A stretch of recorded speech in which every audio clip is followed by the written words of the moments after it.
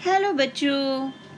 आज की क्लास में हम डिस्कस कर रहे हैं हमारी क्लास टेंथ के ट्रायंगल चैप्टर के, यानी त्रिभुज चैप्टर की एक्सरसाइज 6.3 का एक बहुत ही इंपॉर्टेंट क्वेश्चन यहाँ पे question number 12 and question number 14 दोनों सेम है और उनका सॉल्यूशन भी सेम रहेगा।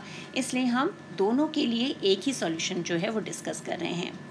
So question is sides A B and B C and median A D of a triangle ABC are respectively proportional to sides PQ and QR and median PM of triangle PQR.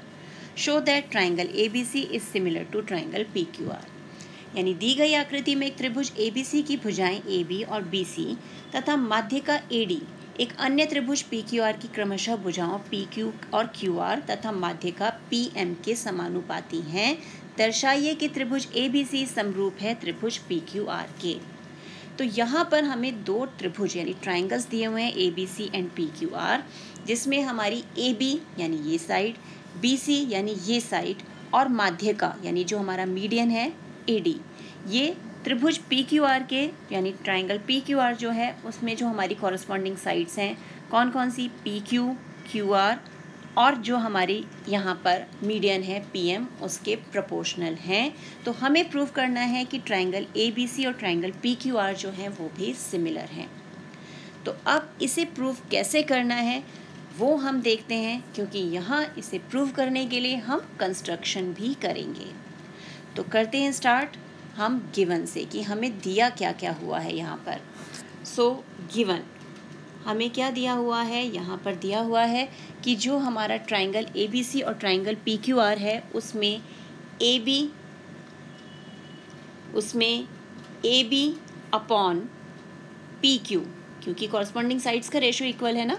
और A C upon P R ये equal है जो हमारे medians यानी A D upon P M के ratio के equal ये हमें दिया हुआ है टू प्रूफ हमें यहाँ पे प्रूफ क्या करना है? कि जो हमारे ट्राइंगल हैं, यानी ट्राइंगल ए बी सी जो है इट इज़ सिमिलर टू किसके? ट्राइंगल पी क्यू आर के। ये हमें यहाँ पर प्रूव करना है। अब जैसा मैंने आपको बताया था कि यहाँ इसे हम प्रूव करने के लिए कंस्ट्रक्शन करेंगे तो वो कंस्ट्रक्शन क्या है कि हम ए डी को, यानी इसे इस तरह से प्रोड्यूस करेंगे कि ए डी और जहाँ हम इसे ई e तक प्रोड्यूस कर रहे हैं ये दोनों इक्वल हों यानी ए डी और डी ई e, ये दोनों लेंथ जो हैं वो इक्वल हैं। और ये हमने इसे ज्वाइन कर दिया सी से। सिमिलरली पी एम जो है इसको भी हम आगे प्रोड्यूस करेंगे।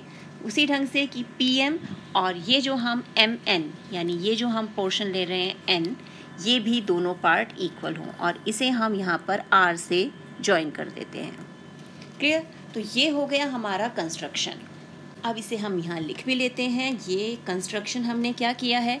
हमने कहा, किया है produce A D to E and P M to N such that किस ढंग से हमने प्रोड्यूस किया है?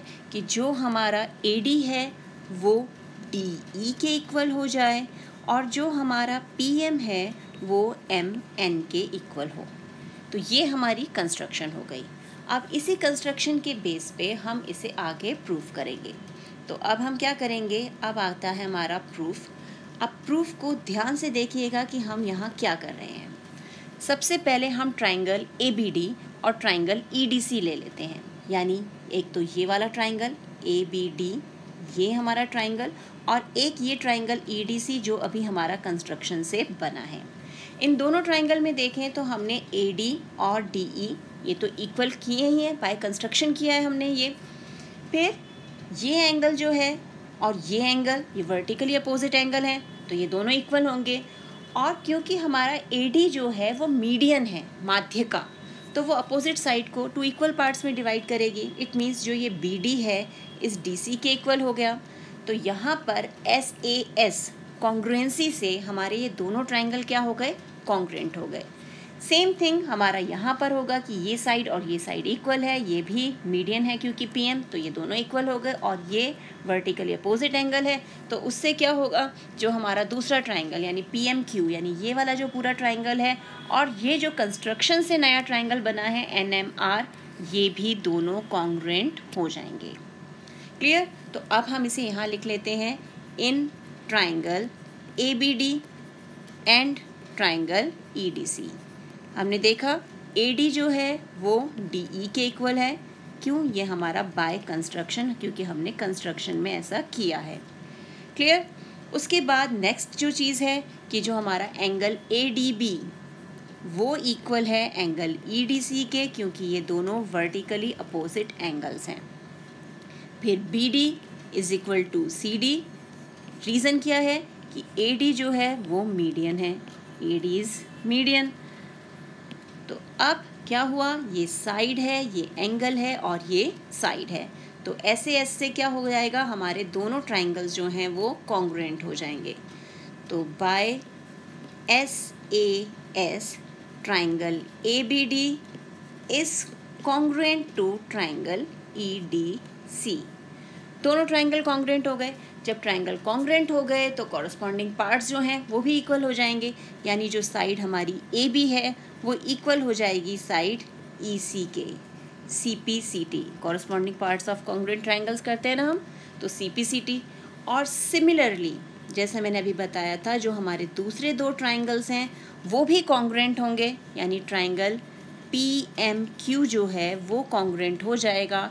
ट्राइंगल एन एम आर के तो वहाँ भी हमारा जो कॉरस्पॉन्डिंग पार्ट्स हैं, वो इक्वल हो जाएँगे। यानी पी क्यू जो है, वो इक्वल हो जाएगा एन आर के by C P C T तो इस तरह से हमने पहले तो दोनों जो हमने कंस्ट्रक्शन करके ट्राइंगल्स बनाए हैं, उन्हें कॉन्ग्रेंट प्रूफ कर लिया और कॉरस्पॉन्डिंग पार्ट्स इक्वल कर दिए हैं।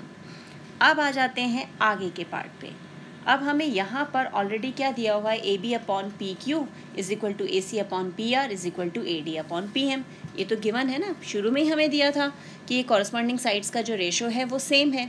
तो अब हम इसी को लेके आगे यूज़ स्टार्ट करते हैं। तो अब हमें यहाँ पर दिया हुआ है A B upon P Q is equal to A C upon P R is equal to A D upon P M clear तो ए बी जैसे अभी अभी हमने सी ई e के इक्वल प्रूफ किया। कॉरस्पॉन्डिंग पार्ट्स थे ना, ये दोनों ट्राइंगल हमने कॉन्ग्रेंट प्रूफ किए। तो इसका ए बी और इसका सी ई e ये भी इक्वल होगा। कॉन्ग्रेंट है तो। तो हम ए बी की जगह यहाँ पर सी ई e लिख देते हैं। सी ई सिमिलरली जब ये ट्राइंगल और ये ट्राइंगल कॉन्ग्रेंट प्रूफ हो गए तो इसका पी क्यू और इसका जो एन आर है, ये भी इक्वल होगा। तो यहाँ पर पी की जगह हम एन आर लिख देते हैं। देख रहे हैं? ए बी की जगह हमने सी ई e लिखा है और पी की की जगह हमने एन आर लिखा है। तो C E upon N R is equal to A C upon P R और ये जो ए डी है, इसे हम A D upon P M को ऊपर और नीचे दोनों जगह टू से मल्टीप्लाई कर देते हैं। तो अगर टू कैंसिल होगा तो ओरिजिनलिटी बनी रहेगी। अब हम फिगर में देखें कि टू टाइम्स ए डी यानी ए डी का डबल ए डी का डबल यानी पूरा का पूरा हमारा ए ई e, वो ए डी का डबल है. और इसी तरह जो पी एम का डबल यानी ये जो पी एम है हमारा इसका डबल यानी पूरा का पूरा पी एन क्योंकि हमने पी एन और एम एन को इक्वल रखा था. तो नेक्स्ट हमें मिल गया C E upon N R is equal to A C upon P R two two times A D is A E upon P N clear ये point clear हुआ ना कि हमने उसे टू टाइम्स लिया है तो वो डबल होके ए ई के इक्वल हो गया और पी एम डबल होके पी एन के इक्वल हो गया। अब जब ये साइड्स का रेशो हमारा इक्वल आ गया तो इसका मतलब जो हमारा ट्राइंगल ए ई सी है और ट्राइंगल पी एन आर है, ये दोनों सिमिलर हो गए। सी यानी ये पूरा बड़ा वाला ट्राइंगल और आर यानी ये पूरा बड़ा वाला ट्राइंगल जो है, ये हमारे सिमिलर हो गए, क्योंकि इसकी कॉरस्पॉन्डिंग साइड्स का रेशो सेम है। अब जब ये सिमिलर हो गए तो अब हम यहाँ देखें, हम इन्हें नेम कर देते हैं। ये जो एंगल है इसका वन और इसका जो एंगल ये है टू सिमिलर हो गए तो इनके एंगल्स जो हैं इक्वल होने चाहिए। तो एंगल वन जो है, वो इक्वल हो गया एंगल टू के। ऐसे ही जो रिमेनिंग पार्ट है, ये है थ्री और ये है एंगल फोर तो थ्री और फोर जो है रिमेनिंग पार्ट वो भी इक्वल हो जाएँगे. Angle three is equal to angle four इसे हम ले लेते हैं इक्वेशन वन और इसे ले लेते हैं इक्वेशन टू अब इन दोनों इक्वेशंस को ऐड कर दें. Adding equation one and two इन दोनों को ऐड करके क्या मिलेगा? जब हम ऐड करेंगे तो left hand side left hand side में और right hand side right hand side में ऐड करेंगे. तो हमारे पास क्या आ जाएगा? कि angle one plus angle three is equal to angle two plus angle four और वन और थ्री मिलाकर हमारा पूरा का पूरा यहाँ पर देखो फिगर में पूरा का पूरा एंगल ए बन रहा है और फोर और टू को मिला के एंगल पी बन रहा है। इट मीन्स हम यहाँ वन प्लस थ्री की जगह क्या लिख सकते हैं? एंगल ए और यहाँ लिख लिया एंगल पी अब एंगल ए और एंगल पी इक्वल है और जो हमें गिवन था गिवन में हमें कॉरस्पॉन्डिंग साइड्स का जो रेशो था, वो इक्वल दिया हुआ था, यानी हमें A B upon P Q जो था, वो इक्वल दिया हुआ है A C upon P R के ये हमारा गिवन था। स्टार्टिंग में ही हमें ये दिया गया था।